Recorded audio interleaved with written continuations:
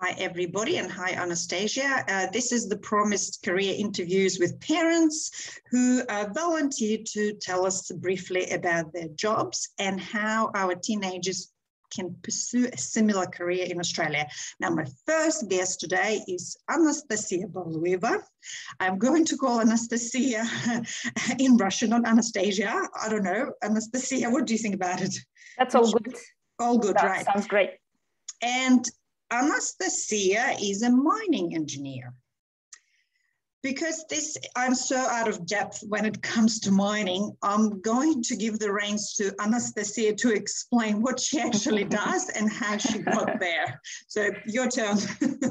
yeah, so it's very surprising as well for me to hear that someone who lives in Western Australia uh, doesn't have as much uh, uh, understanding of mining in general because um, this is actually a capital for mining, one of the one of the really uh, big hubs for mining around the world.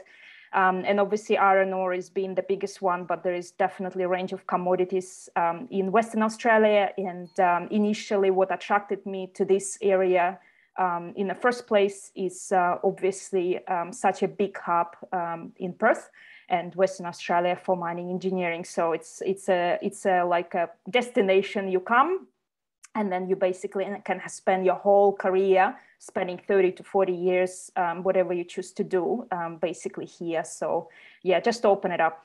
Anyway, um, so I guess I am uh, Russian and I did not study here. So I have a degree in mining engineering, um, specializing in open pit mining from Moscow State University. Uh, uh, of mining.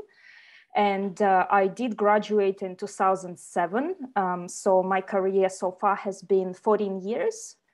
Um, and uh, throughout this time, I have worked in Russia for one year, I worked in Chile for two years, and I worked in Australia for 11 years now. Um, I also did an internship in Australia while I was still studying at my university back in Moscow. Um, and I also went to the mines in Tanzania for two months in my first year of working as a mining engineer in Russia. So basically, after the first year, then I took off to Chile um, uh, for two years. And then from there, I moved to Australia. And uh, my experience so far um, spans the commodities uh, of gold, copper, nickel, and iron ore. So it's quite an important point um, for mining engineers to cover a variety of commodities as well. Um, so in terms of looking at the career, um, it's also important to plan around um, diversity of commodities as well. Um, in terms of the uh, so far, I guess I've done a lot of operational roles, and I have to say that my focus in early years, um, based on the um, guidance of some mentors early in my career that I received, especially the ones that were not in Russia, uh, all of the other mentors I, I, I met throughout my um, time working in Chile, Tanzania, and here in Australia is basically focus your career working at mines to gain that operational and practical experience for basically as much as you can afford before moving to the more city-based and more comfortable roles, mm. basically that then can um, be the um, um, you know the whatever you really want it to be um, because our uh, degree allows us and our i guess if you plan your career well allows us to do a very broad um, sort of uh, range of roles industries even um, and i'll touch on it later down the track. So then um, in terms of uh, um, after the operational roles, I also um, uh, did a number of roles in the corporate office, um, and uh, they are spanning the uh, um, sort of evaluations, they're spanning the tactical and strategic mine planning, um, and uh, outside of, I guess, the uh, technical roles I've held, um, I was uh, in leadership positions for about three and a half years now. Uh, and I did leadership positions by, uh, on the operational level and also in the corporate office. So my current position is basically superintendent of strategic mine planning for Central Pilbara Hub um, at uh, BHP Iron Ore. Mm. And um, I guess the um, responsibilities I have is uh, to deliver the strategic mine plans, mine designs, um, uh, studies, uh, reserve reporting, Um, and uh, that's all on my hub, uh, where I'm focused on. So Central Pilbara Hub is actually Area C and South Flank. Um, and over the next few years, we are ramping up to deliver half of uh, iron ore production for BHP. So it's a pretty big size um, uh, sort of uh, responsibility I have within, mm. within my area. So okay. that's pretty much um, a little bit about myself, Tatiana. Yeah, that's a very impressive portfolio and a very interesting, diverse sort of location-wise and experience-wise career. And to um, uh, veer off into a completely different direction because we're obviously focusing on the young people and trying to help them with potential pathways. I guess this particular pathway would be relevant to anyone who is in Western Australia at the moment. Um, and you probably getting some new graduates in in yes in your office that you come across um, so what degree do they normally come with to your office is which university would potentially cater for uh, mining engineering out of the well not many four or yeah four plus one private in western australia Yes, so I'll start uh, with a little bit of a step back here as well, mm. because probably the context is an important piece.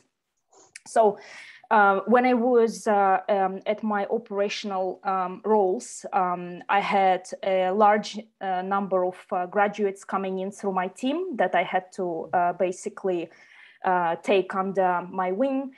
And um, what was happening uh, was that a few years ago we actually experienced a downturn uh, where um, we stopped hiring as many graduate mining engineers for for a few years. And what that um, resulted in is that there was a very small number of mining engineers who actually uh, chose to study that um, degree and uh, as a result after that so now right so that would obviously be four four year degree typically here uh, what will happen is that there would be very few people actually graduating as mining engineers. So before COVID, we had the luxury of importing um, skilled uh, professionals from overseas, which is how I came here. Mm. Uh, now all of that shut down basically, and there is very few people coming. Um, and what I have observed in a recent couple of years is that we are actually taking on to the graduate programs uh, uh, onto mining engineering people who came from mechanical engineering background mm-hmm. and others.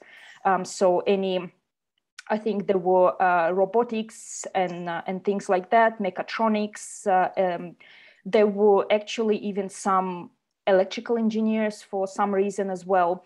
But what will happen with our organization, because we're very large, um, some of those people can actually end up jumping around through different uh, departments even. So they might start with me but then they would be going around um, and trying themselves over the 18 months of the graduate program in different different areas as well.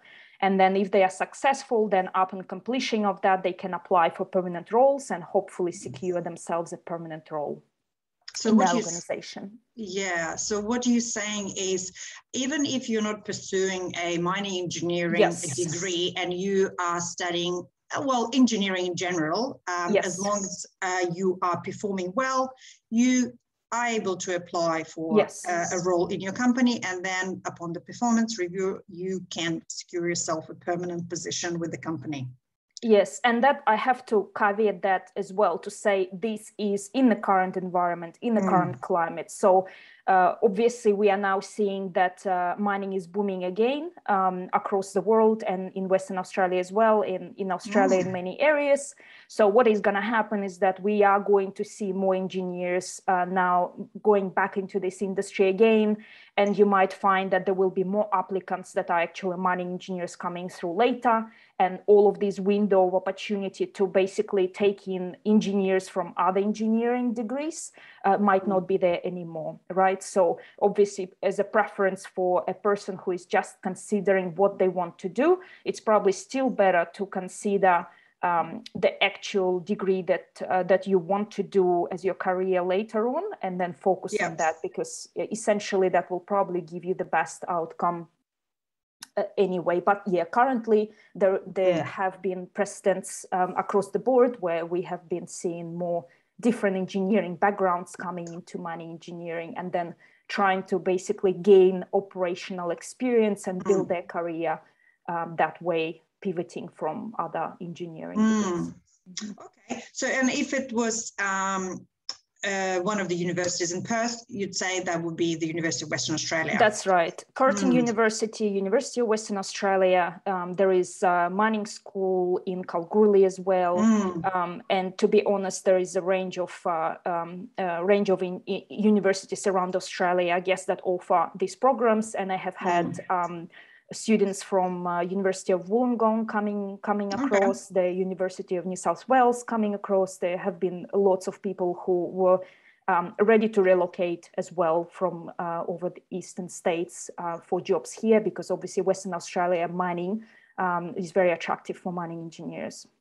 It's interesting that you're saying that, and as I've mentioned before, even though I'm kind of out of depth but everybody's around me is in mining, the mm-hmm. people we've met uh, in the last 18 months. And what they're saying um, is actually, well, they are saying it is booming at the moment for as long as Brazil is not doing well. But mm-hmm. once the mining, especially the ones that are, they're building in Africa, is going to pick up, we're going to go into yes. another downturn. So, what yes. do you think so, about that? Uh, one of the uh, so one of the questions uh, Tatiana you had, which was a really good one in terms of the um, you know what are what are the things that um, uh, you like and uh, don't like about your um, uh, your job um, is actually a very very good question. Is that one of the things there is um, cyclical nature of the mining industry and also within that you can have commodities different commodities going through their cycles so when you look around what's the iron ore price? What's the gold price? What's the mm. precious metals in general price uh, what's the coal doing, right, etc., um, etc. Et so they all will have um, their own sort of uh, peaks and troughs and slightly different time, and they sort of follow each other in a certain cycle as well. So you could say that once they start the cycle, you, you know that everything else is probably going to go through a similar trajectory. Um, mm-hmm. So yes, definitely um, that is the case. Uh, however, I guess specifically to iron ore, it's a very uh, base commodity. It's a very fundamental commodity for, uh, for the world.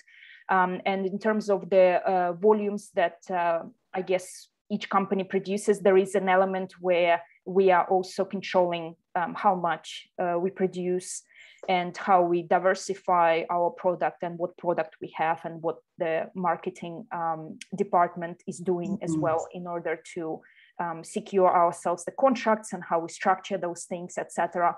Definitely, there is an element of what's happening with Brazil due to their, um, I guess, history of dam failures and the mm. COVID impacts that uh, potentially have been a little bit uh, worse there compared to obviously locally here in Western Australia. And you can understand why the local government is so strict in trying to mm. keep the borders shut and keep all these uh, industries that are delivering so much uh, I guess um, so much profit for the for the country, mm. uh, really really tight. Um, and obviously the industry is very grateful for that because that's part why we were able to continue mm. operating with very very little hiccups here and there. Um, so yeah, but um, in terms of other ones, so you look at gold as well. Um, and uh, obviously uh, it's a very healthy it's a very healthy position around the world anyway in terms of the prices and the cost of productions and mining companies are typically really smart in terms of keeping their costs down that's where we start in terms of operational excellence and why australian mines are particularly competitive is that yes labor is more expensive uh, but we try to drive our costs down via other means right mm. so we're mm. really good operators here um, so that's part of uh, Australian success in the um, uh, raw materials industry in general is we're just able to drive those costs down uh, via different means and obviously economy of scale as well. So um, that's definitely playing a part. And um, even, even if the uh, prices do go down significantly, we're still gonna stay very, very competitive. Um, mm. Well, so, you're yeah. totally selling it to me. Maybe I should requalify. um, no. well, um, I guess the um, one of the uh, one of the perks for me that I had absolutely no idea, and I I have to say that I had no idea about mining industry when I was choosing this career in mm. the first place, right? So I had my own story there in terms of how all that came about. Um, mm. Um, but one of the strong uh, points around uh, being a mining engineer is the security um, in your career. So you're basically going to have job if you are uh, if you're good enough at thinking what you're actually doing and what you're trying to achieve rather than just going through the paces throughout your life, um, mm. you're probably going to end up with a very solid career wherever you are because it's geographical mobility one thing so you can obviously follow those commodity cycles if you want to so you can mm. always go okay this commodity is booming somewhere so i can actually take mm. a job mm. somewhere else uh, or if you don't want to be geographically mobile, you're just focusing on doing what you're doing really well in one place. And obviously in Western Australia, um, the uh, different commodities uh, providing you the um, diversification you want. So my mm. nickel and iron ore, uh, I guess, journeys have been with BHP, right? My gold and copper journey was with Barrick, uh, which is the Canadian, uh, pretty large Canadian mm. producer. Um, so yeah, so there is definitely that, and uh, because the commodities are so fundamental to everything we produce in the world, um, and any story you talk about, especially right now with the green energy, uh, mm-hmm. with fast to net zero around the world, uh, with electrification of the fleets and uh, um, changing to different power generation, et cetera, et cetera. The big companies have a lot of leverage here and they're able to invest at, at scale and being able to get to those uh, very, very competitive, uh, even cost profiles while pursuing mm. uh, all of these um, future past to net zero, I guess, um, uh, road that we're choosing for ourselves and, and competing for that capital, lower cost capital, etc. So it's definitely a, uh, such a fundamental uh, thing for our world in general wherever you are so yeah so being a mining engineer is definitely one of those uh, future proof kind of things you can do and then as you as you get on that path you also need mm. to make sure that you're actually doing the right things rather than mm. getting too comfortable too quickly mm. um, and then uh, by doing that you're obviously still going to have pretty solid career but you might not gain as much satisfaction from it because you're going to end up wanting the variety of things you do and wanting maybe you know if you if you are naturally a, leader right and you'll mm. you'll see it in yourself as you you know if you don't know about it now maybe later on you'll see it in yourself right and it's important uh, to build your career in a way where you can actually satisfy all of those sides of yourself to be um, you know comfortable and and happy and growing and feeling like you know if you have 30 40 years of doing what you're doing you know mm. you, you better you better take care of it as well so that's basically in a nutshell tatiana so I've got two more questions for you, Anastasia. The first one is, you know, if, if somebody were to choose uh, a course now, um, taking uh, into account the cyclical nature of mining, would you say uh, they're better off doing a generic degree in engineering and, and then just uh, getting into the industry on merit, doing um, work experience, and then when we have another downturn, they can uh, pivot and do um, engineering elsewhere and wait until the next boom and jump back into mining. It's, because yeah. because it gives yeah. them more versatility and if they're not um, if if they um, decide to have a family and stay in one place that also gives them options. Yes. So um, I have to say that um, uh, if you are doing different engineering careers and you are um, midway through career wanting to switch between, or say you, mm. you get in and you work five years in mining engineering, and then the next five years you want to go to electrical engineering or mechanical mm. engineering or civil, um, any of those. So um, I would uh, personally not recommend it unless you really don't know what you want mm. to do uh, because if you are going to, to go down that path, um, you have to imagine yourself spending um, large amount of hours committed to um, to a certain area and then having to pivot and start from almost from beginning um, mm. it would be difficult um, if you are doing leadership roles so if you say after about 10 years of your career you get to leadership roles uh, there is potential for easier switching between different mm. areas of being a leader in one engineering area versus another area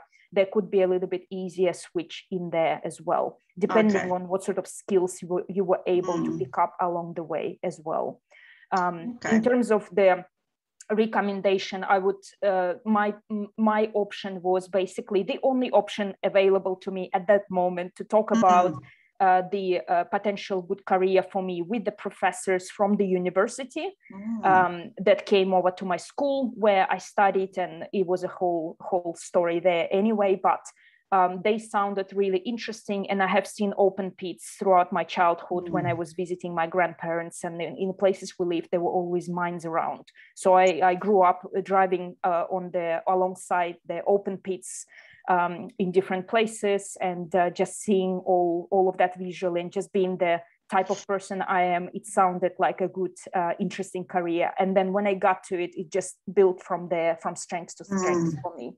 Once I learned about all of the different opportunities um, around the world available to me. That's so great. yes, uh, in my in my case, it was definitely pick one thing and just yeah. uh, in, and just keep grinding in that mm. one area. And then if you do that in the right order, I guess, um, you can then open um, yourself up for opportunities uh, that are really, really extraordinary. That's that's really good. And the last question I've got is uh, female um, in the in the industry, because um, as we know, the window of opportunity for our kids to be open to different career paths uh, actually closes at around teenage years. So as um, young children, we, we, we dream of being whatever because we don't really understand this sense of prestige for some occupations and That's we right. dream but then teenagehood comes and it all closes for you unless somebody like the professors at your school would come to your school and talk about the um, engineering industries male driven mostly but and if we take mining for example how is it um, so what's what's mining like for a mom yes. of a school kid? Because I'm guessing you travel quite a bit. Yes. And um, and it's high pressure and probably very stressful. So what is it like? um, I guess it, it, it, would be stressful if you don't know what's going on. but having having uh, you know having uh, quite a number of years up my sleeve does help me with the uh, um, you know not being stressed uh, about different things because I've been I've been I've been there and I've done that. And uh, I've been exposed to various levels of leadership in our organizations whatever I have worked and different level of um, I guess uh, technical versus non-technical people etc. So after a while, um, you definitely build uh, the right, I guess, uh, skin uh, for things. Mm. In terms of females, it's quite interesting because obviously I'm very privileged in where I work now, and one of the reasons why I stuck with BHP for so long is because one is the variety of commodities and all of the technical aspect of it. The other one is that you truly feel welcome and you truly feel valued for actually what you contribute there. Um, and we have actually in the last few years uh, driven actively the female participation and diversity targets. So we actually have kpis around the percentage of females um, that are in our departments, right? So on mine sites as well as in corporate office. My manager is a female. My head of, uh, which is like a general manager level, mm. is a female. Um, and uh, in Gina my Rinehart is a female. in my team, I've got um, a pretty um, a pretty close to 50-50. Wow. Uh, and uh, across the board when we uh, so I, I, obviously travel to mine sites every now and mm-hmm. then i don't i don't do that um, that often to be honest and it's not a problem because it's uh, around once a month trip for me uh, to go there for the basically stakeholder relationship and um, uh, engagement on the key work um, that mm. we need to do but uh, and sometimes of the year there could be a little bit more travel based on the deliverables mm. that we've got and the engagements we have around their cycle. Basically, we've got a, a corporate alignment cycle that we uh, basically contribute towards significantly. So around that um, is our travel times as well. Um, but in general, uh, females have uh, a lot of opportunities uh, in our industry at the moment, and it's probably the big ones, the big companies are definitely driving a very, very strong female participation targets. And obviously, nowadays, investors are demanding um, that sort of uh, ESG aspect of the, especially from the big companies um, uh, you need to be competitive there so that you get the investments right? And you get the interest etc and you get the social license to operate. Um, so we actually um, have quite a yeah quite significant target on the females um, on the also indigenous employment. Mm. uh, and uh, my particular team is looking at uh, receiving an intern uh, an indigenous intern this year in my team as well. Mm so just to um, you know just just to open this up a little bit to say that look um, in the past maybe um, the thinking was it's not the industry for uh, females whereas mm. now is uh, definitely not so at all um, and there, there is plenty of support systems as well aware, available um, in the companies and especially if you're going to the big ones um, i can't mm. speak for small ones that much because mm. i guess my experience have been with the reasonably medium sized to large sized companies so um, it might be a little bit different at the at the smaller companies as well Okay, yeah, it's interesting. Um, I've met a few people working for Rio Tinto, and um, they're all uh, female, and they come across as very strong and determined, um, outspoken individuals. And um, to sum up, um, look, uh, that was really good, and I feel that you sold mining engineering pathway to many of our listeners today, including myself. No, just kidding. Um, but I definitely get my kids to listen to this. Thank mm-hmm. you so much, Anastasia, for your time. That was pleasure meeting you today. Oh, good. Thank you, Tatiana. Yeah. I hope that helps someone at least Absolutely. one person. That would be great. And also, um, don't don't hesitate to get in touch with me. So I guess I'm in the group. Um, and mm. whichever way you feel comfortable, um, you can get in touch with me, and I'm happy to chat further uh, yep. with anyone who's interested. Lovely. Okay, thank you.